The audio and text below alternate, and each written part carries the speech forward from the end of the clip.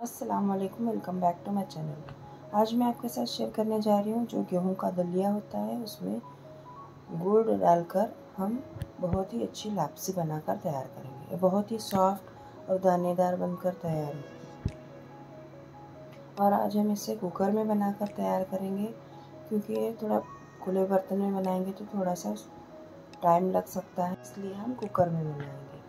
और लापसी का perfect measurement के साथ पानी कितना लेना है, घी कितना डालना है, गुड़ कितना डालना है परफेक्ट मेज़रमेंट के साथ हम इसको बनाकर तैयार करेंगे।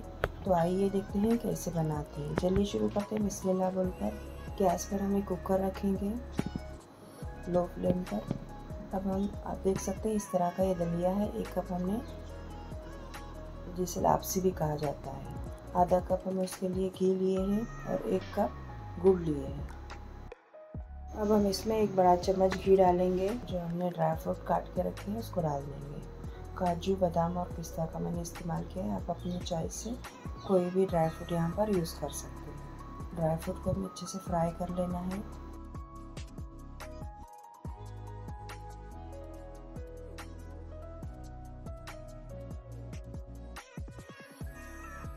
देख सकते हैं ड्राई फ्रूट अच्छे से फ्राई हो चुके हैं, हम उसे निकाल लिए हैं।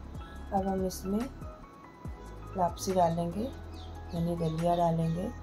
हाँ ये दलिया हमने, ये तीन साइज़ का मार्केट में मिलता है। इससे छोटी साइज़ एक आती है और ये एक साइज़ है और इससे बड़ी साइज़ एक आती है। मैंने मीडियम साइज़ का जो होता है, वो दलिया लिया है।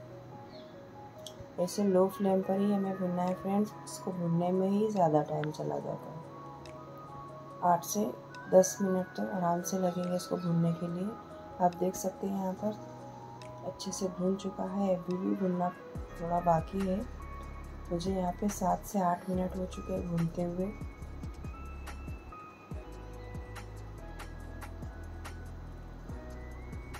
ये जितना भुनेंगे ना, फिर इसके बाद ये घी ना रिलीज़ करता रहेगा और कलर भी चेंज होएगा और बहुत अच्छी खुशबू आने लगेगी। बहुत अच्छे से भून चुका है। अब हम इसमें गर्म पानी डालेंगे, जिस कप से हमने लापसी नापी थी, उसी कप से हमें साढ़े तीन कप यहाँ पर पानी डालना है। अभी गर्म पानी डालना है। फ्रेंड्स, पानी डालते समय थोड़ा ध्यान रखना। थोड़ा वाप अपने हाथ पे आ जाती है। साढ़े तीन कप पानी डालने के बाद हम इसे लो फ्लेम पर तीन सीटी आने देंगे।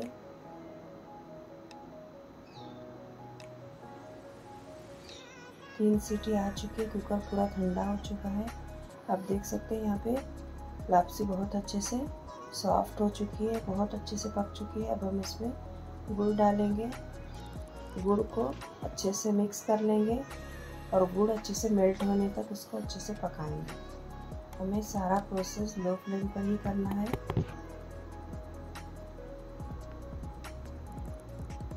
गुड़ डालने के बाद ये थोड़ा सा फिर से गीला हो जाएगा थोड़ा सा पतला हो जाएगा।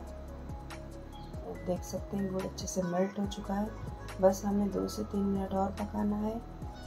देख सकते हैं गुड़ अच्छे से पक चुका है इसमें।